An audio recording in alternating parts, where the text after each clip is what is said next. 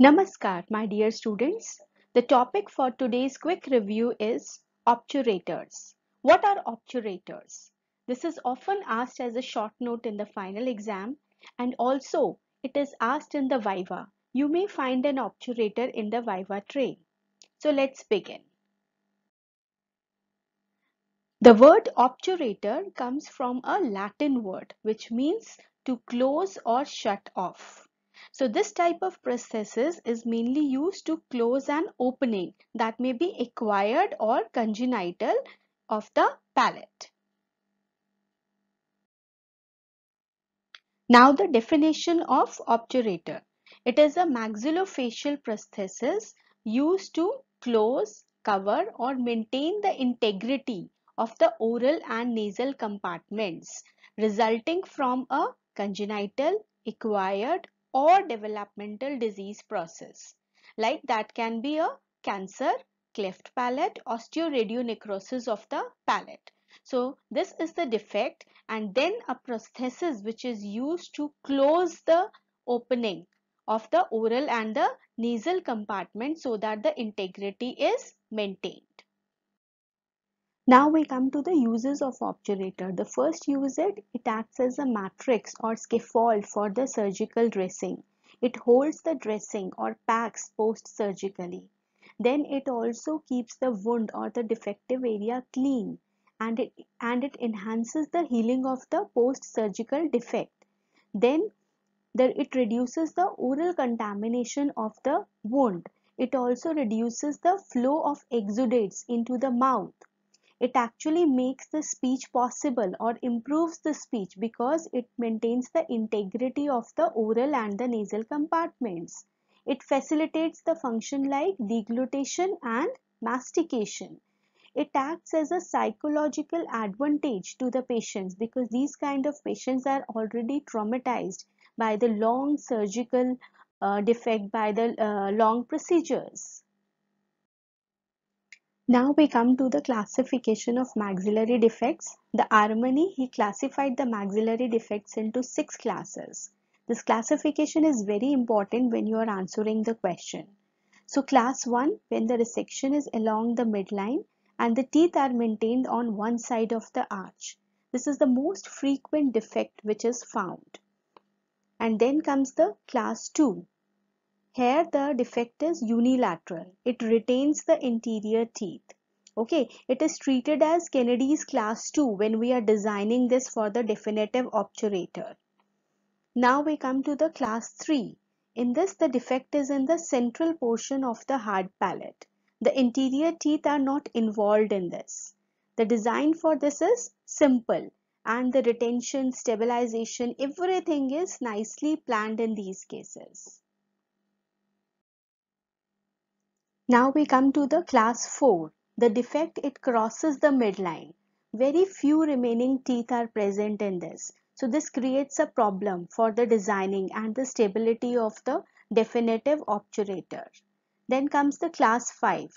Here the bilateral defect is present which lies posterior to the remaining teeth. In this the splinting of the anterior remaining teeth is desirable. Then only the labial stabilization can be done. Now we come to the class 6. Here the defect is present anterior to the remaining teeth. This is a very rare defect. It mainly occurs either in the trauma or in the congenital defect rather than a planned surgical cases. Now we come to the types of obturator. There are three types of obturator, the surgical or the immediate obturator, interim transitional or the treatment obturator and third are the definitive or the permanent obturator. This classification is basically uh, is based on the timing when we are giving these obturator. The surgical or the immediate obturator they are made prior to the surgery. The impression is made before the surgery. The defect is created in the cast and then this is in, uh, this is made. This is inserted during or immediately after the surgery and they serve for 7 to 10 days. Then comes the interim or transitional or the treatment dentures. They are fabricated following the initial healing of the defect. Once the initial is healing is done, we make the impression for making the interim obturator. They serve for 1 to 6 weeks or more depending on the healing process. Third is the definitive or the permanent obturator. They are fabricated when the further tissue changes are unlikely to occur. That means the healing is satisfied and we can go for the definitive prosthesis. They are given 2 to 6 months post surgically. The surgical or the immediate obturator they are mainly formed of the clear acrylic, self-cure or heat cure. Then interim obturators they are uh, fabricated of the heat cure resins and third definitive or the permanent obturator they are fabricated on the metal framework like any cast partial denture with the proper designing. Now the surgical obturator. Surgical obturator is inserted on the day of surgery. The impression is made before the surgery. So uh, this is the preliminary cast which is obtained before the surgery. On this the drawing of the surgical part is done by the guided by the surgeon and on this the mock surgery is performed. Then a clear acrylic plate is fabricated which is inserted at the time of the surgery. In the dentulous uh, cases like this, then the retention can be obtained by the simple clasp or holes can be there on the edentulous side which can be wired uh, to the alveolar ridge or the zygomatic arch and in edentulous the complete obturator is wired into the alveolar ridge or the zygomatic arch. Now this will be replaced with an interim or definitive obturator after the complete healing of the surgical wound.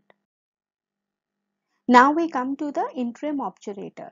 This is the obturator which replaces the surgical obturator once the initial healing is done.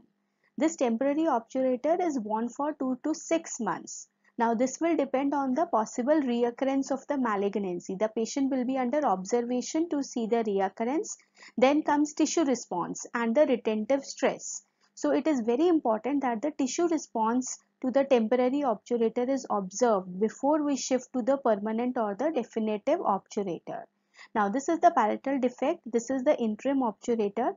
The interim obturator it helps to restore the speech, deglutition, mastication and the aesthetics also. So it acts to the psychological advantage to the patient. Now the placing the teeth is uh, controversial we can place the teeth depending on the healing or we can just avoid the teeth in the interim obturator so that the healing becomes satisfactory so that we can shift to the definitive obturator in time. Now third is the definitive or the permanent obturator. For this first we prepare the mouth like we extract the hopeless teeth, we do the periodontal therapy, restore the carious teeth and then we make the impressions. We go for a metal framework. That means we have to follow all the designs and principles that we follow for the cast partial denture followed by the acrylization with a bulb depending on the extension of the defect. This definitive obturator is only given when the tissue changes are unlikely to occur. The healing is complete. And second they are this is approximately given 2 to 4 months after surgery